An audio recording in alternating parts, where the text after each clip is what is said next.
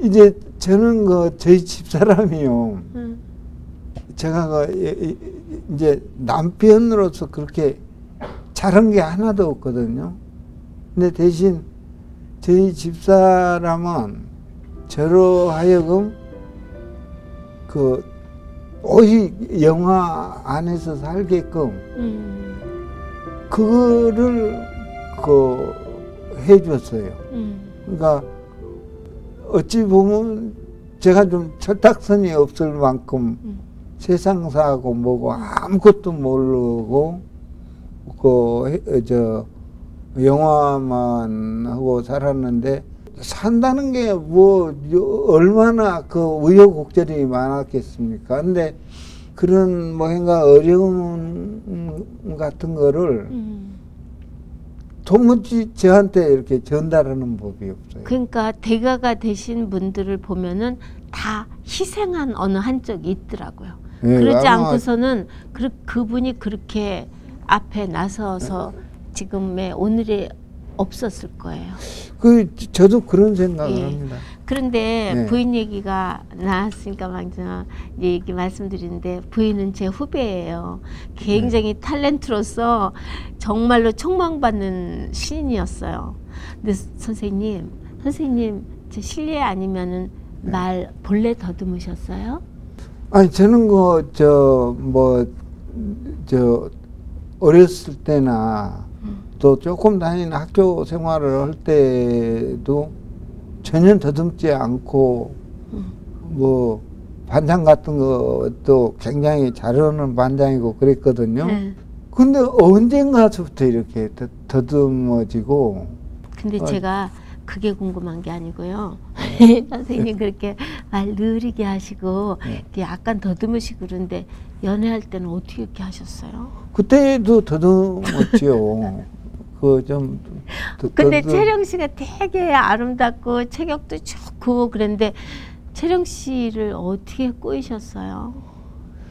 근데 이제 남들은 다 꼬셨다고 뭐 당연히 그렇게 알고 있는데요. 나이 차도 많고.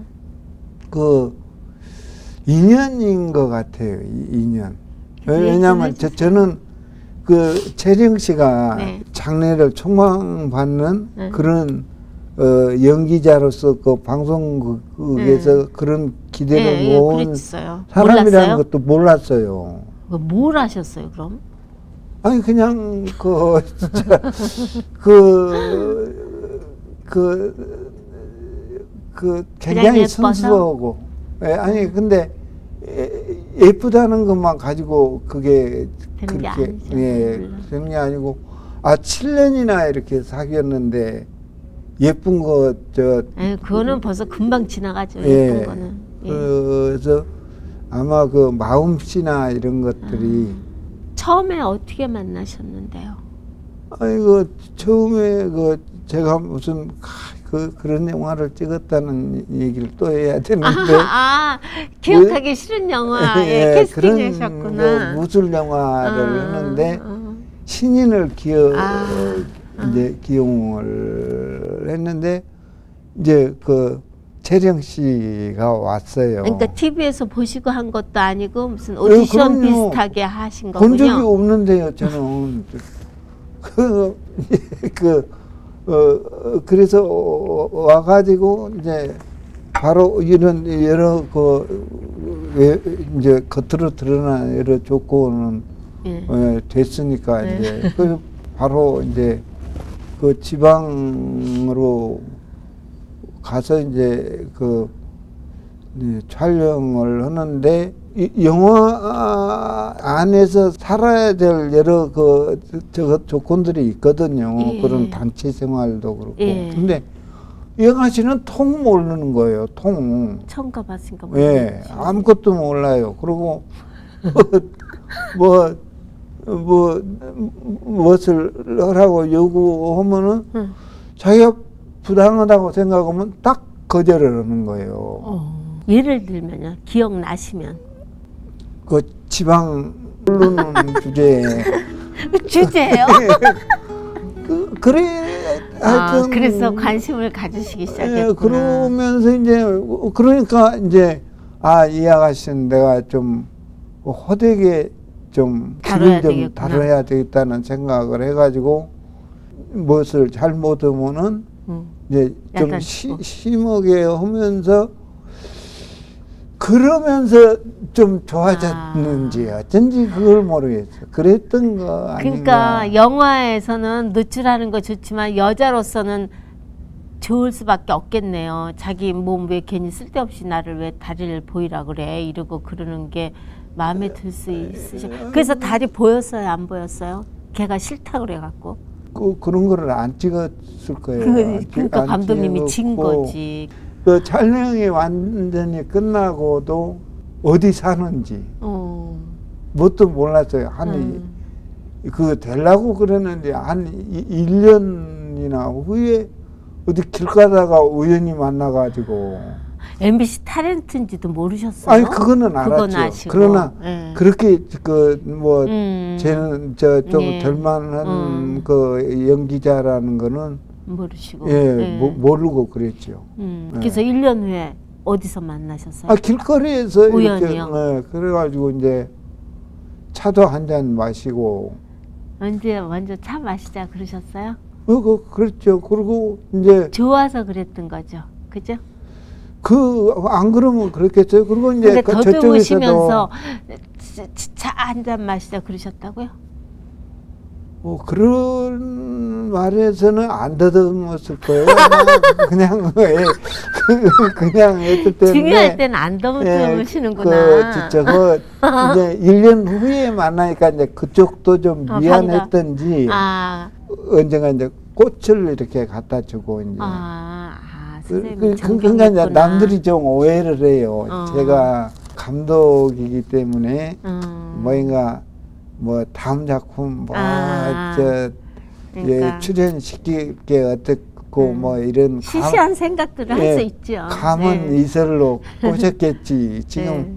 그런 그 생각들을 그 좀 하는 것 같고 지금 당장 이제 김혜자 선생님도 묻는 투가 음. 너 무슨 이설로 어떻게 꼬셨어 지금 그러니까 지금 그런 그러니까 되게 의심을 그, 가지고 그런 생각하게 돼요. 유명한 감독이고. 그, 그런 일이 아니 그때는 유명하지도 아 않았다니까요. 그래도 그때부터 시작하셨어요 예, 연애를요. 뭐 무슨 뭐 갑자기 불 붙은 건 아니고 음, 음. 아주 느리게 느리.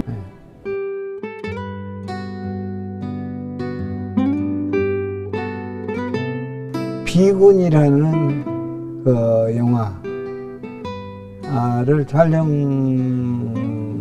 과정에서 종단의 그 반대에 부딪혀 가지고 어 이제 그 좌절을 맛보았는데 이제 어, 그때 그 이제 종단의 반대한 이, 이유가 어, 비군이라는 그 영화 내용 때문이라기보다는 신군부에 대한 어떤 요구나 이런 것들 또저 해명받고 사과받아야 될 이런 것들 어, 이런 일을 이제 비군이라는 여- 여- 영화를 꼬투리로 해서 했기 때문에 이제 그랬을 때 굉장히 화가 났고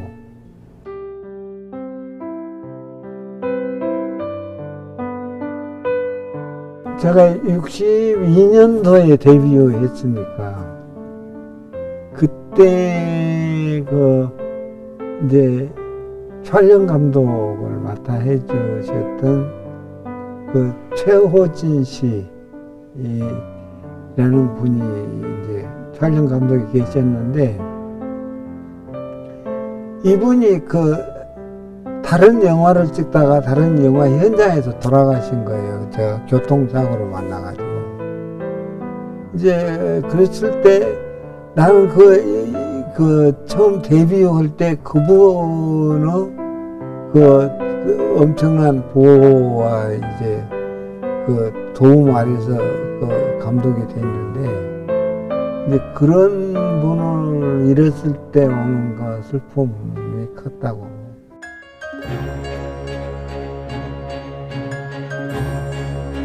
영화를 만들기를 아, 직도 하고 있다는 것이 즐거워요.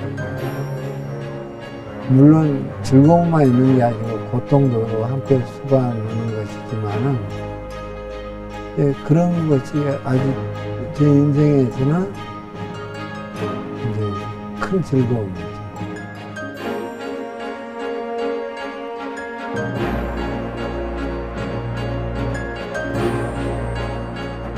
배우들한테 연기를 그냥 맡기시는 편인지 아니면은 어, 일일이 어, 지적을 하시는 편이신지요? 일반 이제 연기를 어떤 연기를 해달라는 요구를 네. 하는데요. 네.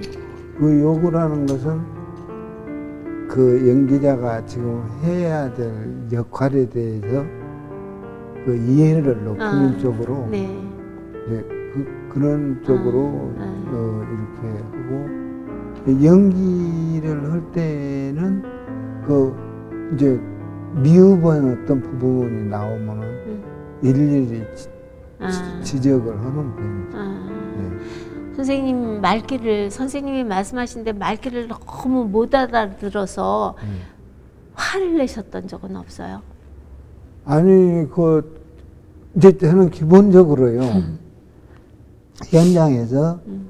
연기자들의 그 기분을 거슬리면 안 된다는 그렇죠. 예, 왜, 왜 그러냐면은 어떻게든 기분을 좋게 해서 좋은 걸 어, 끄져내야 되니까. 최선을 예, 이렇게 맞아요. 그 뽑아내야 네. 된다는 것 때문에 어, 어쩌면은 아부형일 네, 텐데 그런데 이제 그렇게 안 될 때가 있어요. 음. 정말 답답하게도 못 알아듣고 이제 그럴 때 그 화를 이제 내기도 하는데 그것도 그냥 그 단순한 화 때문이 아니고 공갈성이 들어가요. 아, 그러니까 그 음. 효과를 어, 효과를 위해서. 내 이- 예. 그동안 통화 안 낸 사람이 저렇게 화를 낼 때는 음. 뭔가 자기도 정신 차려야 되겠다는 예.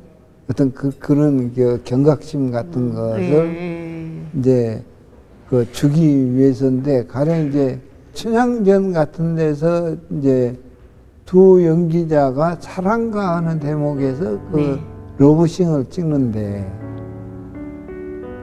이 하루 낮밤을 다 세우고도 안 돼. 안 되는 거예요. 영. 그리고 이제 그렇게 되면 스탭들한테 미안해요. 밤 세우고 하고도 그거는 또이 연출자 어떤 그 연기자로부터 연기를 못 끌어내는 어떤 그 능력 같은 능력 거. 같은 거에 대한 그 미안함도 있고 그러잖아요. 그래가지고 이제 그 음, 화를 낸 적이 있는데 그것도 이제 남들은 이제 참다 못하니까 이제 음. 되게 화냈다고만 생각하는데 음. 사실은 거기에 이제 그 선생님 예, 계산으로 예, 화를 계산해가지고 내시고. 예. 화를 더 일부러 더 좀 강조를 해 가지고 예, 이제 했는데 이제 뒤에 그 결국은 이제 찍긴 찍었는데 효과가 있었어요. 그 화내신. 제가 그, 그 뒤로 이렇게 보니까 얘들이 네. 둘이 다 그런 그 사랑을 해본 경험이 없어. 경험이 없는 애들이었어요. 두는 다. 음. 그때만 해도 조성은 뭐 지금은 이제 잘 알겠지만 그래가지고 그게 안 되는 거예요 이게 근데 이제 우리는 야 그만한 나이고 임마 했으면은 음. 너도 그 그런 음. 감정을 음. 모를 리가 없다고 이제 이렇게 음. 생각하고 이제 했었고 근데 이제 그런 그 일이 들어 있죠 들어 이제 101번째 작품에 대해서 혹시 그 상 하고 계신가요? 아니, 지금은 무엇을 해야 될지 그 모색하고 있고요. 제가 61년에 데뷔해가지고 지금까지 거의 쉰 적이 없거든요. 그러실 것 예, 같아요. 그러니까 네. 잠자고 먹고 어, 뭐, 이런 거 빼고 거의 영화 예. 오지. 그러, 그런 데다가 그, 좀 일에 중독증이 생겨가지고요. 아니, 편하게 좀 시간을 딱 그 영화를 자르고 그 쉬는 시간을 이렇게 가지고 네. 어디에 또 안식년이라는 게 예. 있는데. 그 선생들하고 안식년이라도 네. 있고 하는데 그게 없어요. 해가지고 지지부진 계속 그 영화 안에서 그러니까 시- 이제 영화가 끝났으면은 그 다음 작품을 뭐를 해야 될지 이- 이런 것까지도 사람을 잡고 그 안 놔주고 오고 있기 때문에 음.